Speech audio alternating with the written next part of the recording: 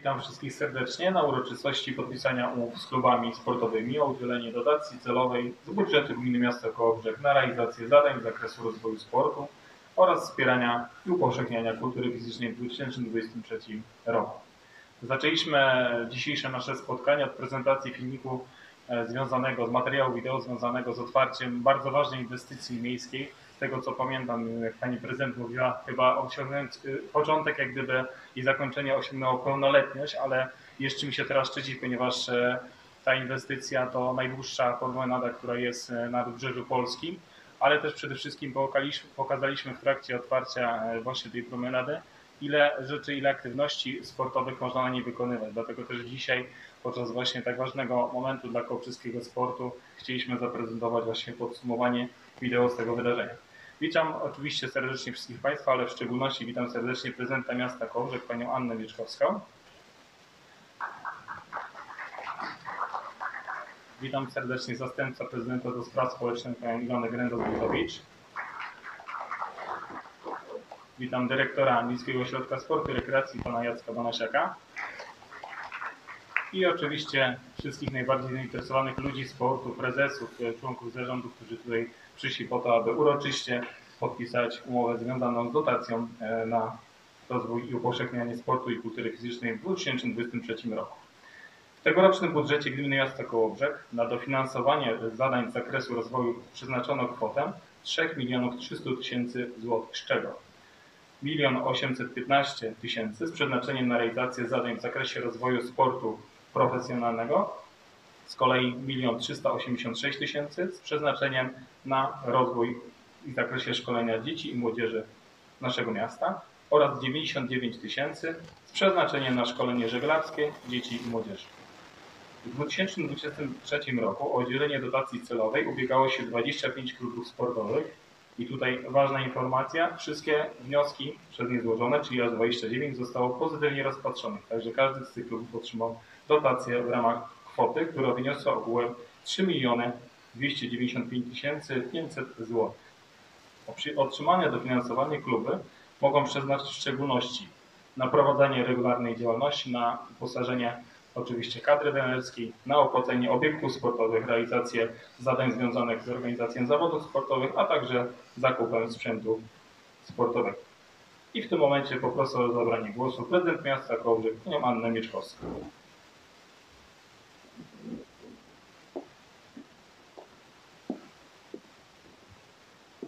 Dzień dobry, miło mi jest wszystkich Państwa powitać. Sport jest bardzo ważny w życiu każdego z nas i nie muszę chyba nikogo do tego przekonywać, bo to, co jest najlepsze moim zdaniem, to fakt, że niesią z sobą tak wiele pozytywnych emocji i bardzo dobrej energii.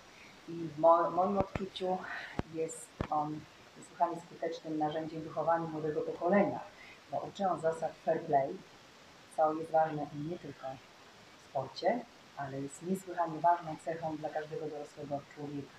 I proszę Państwa, o tym, jak ważny jest to obszar, dowodzi, iż w tym budżecie, słabym budżecie, który no, nie jest takim budżetem, jaki chciałabym zaproponować naszym mieszkańcom, trzymaliśmy kwotę 3 milionów 300 tysięcy na właśnie obszar sportu. Bo dla mnie jako prezydenta miasta nie ma ważniejszej rzeczy niż dbałość o zdrowie i dobrą kondycję jego mieszkańców, zwłaszcza tych najmniejszych. I na efekty tego, że dofinansowujemy sport, nie musimy długo czekać, bo proszę Państwa, w tym roku już za chwilę, bodajże w piątek, patrzę teraz na Panią, tak, w piątek, będziemy uroczyście rozdawali, czy też przekazywali stypendia sportowe tym, którzy osiągnęli wysokie wyniki w swoich dyscyplinach, a tego jest naprawdę niemało, bo aż 20, 27 zawodników otrzyma stypendia sportowe prezydenta miasta w różnych dyscyplinach. Karate, kolarstwo, lekka atletyka, łucznictwo, pływanie, siatkówka halowa i siatkówka plażowa. I to wszystko, proszę Państwa, dzięki strzelectwu, dzięki wielkiemu zaangażowaniu nie tylko tych małych osób, które dążą do osiągnięcia jak największych wyników, ale dzięki zaangażowaniu naszych kołbrzeskich działaczy sportowych, trenerów.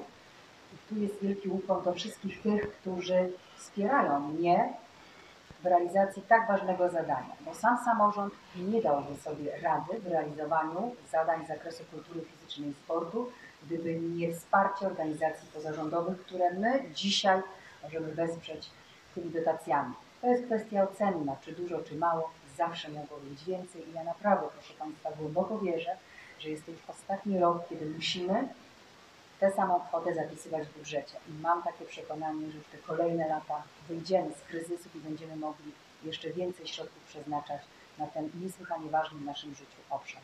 Proszę Państwa, tak jak powiedział już Pan prowadzący, my te pieniądze przeznaczamy według określonego algorytmu i stosujemy to, przekazując środki na rozwój kultury fizycznej dzieci i młodzieży, na żeglarstwo, bo jako Kołobrzeg no musimy dbać o rozwój sportów, które no ewidentnie łączą się z nazwą, z charakterem naszego miasta, więc to jest taka zapewniona 3% kwota z tej całej sumy i resztę na sport zawodowy i tu nie muszę też nikogo przekonywać do tego, że on jest również bardzo ważny, a sukcesy naszych piłkarzy, koszykarzy cieszą nas bardzo mocno.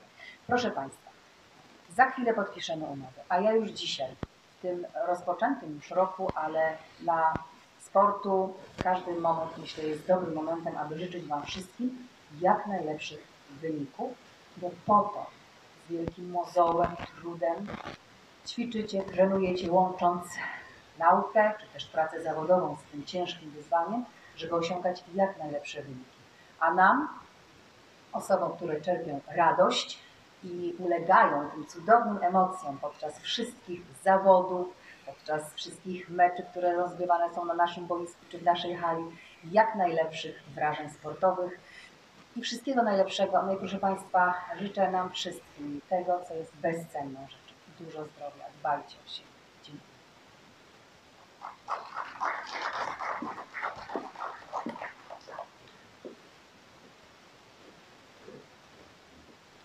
Już tutaj Pani Prezydent wspomniała właśnie o następnym naszym wydarzeniu, które odbędzie się 10 lutego o godzinie 10, więc łatwo zapamiętać właśnie e, uroczyste przeznaczenie, e, przekazanie oczywiście stypendiów sportowych i nagród zarówno dla zawodników, jak i dla trenerów.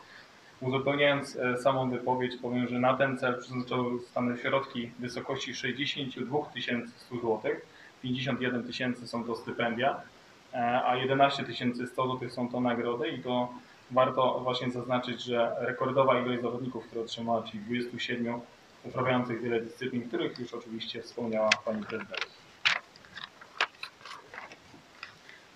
Kolejnym wsparciem finansowym dedykowanym organizacjom działającym w obszarze upowszechniania kultury fizycznej i sportu są też dotacje udzielane w ramach konkursu ofert i ustawy o działalności pożytku publicznego i o wolontariacie. Kwota zaplanowana w budżecie miasta w 2023 roku to 160 tysięcy złotych. W ramach tej procedury wpłynęło 17 ofert, z których 16 zostało rozpatrzone pozytywnie i dofinansowano łączną kwotą 134 500 złotych. Także e, jeżeli chodzi o działalność w zakresie organizacji wydarzeń sportowych, to właśnie ta kwota została przeznaczona na rok 2023. Miejmy nadzieję, że wydarzenia będą jak najbardziej dobrze odbierane oczywiście przez mieszkańców miasta Kołobrzeg w jak najszybszym charakterze, jeżeli chodzi o wymiar sportowy. Więc powoli zbliżając się do tego najważniejszego momentu, e, poproszę, po kolejno będę prosił oczywiście przedstawicieli stowarzyszeń sportowych, które będą podpisywały umowę w ramach dzisiejszego wydarzenia.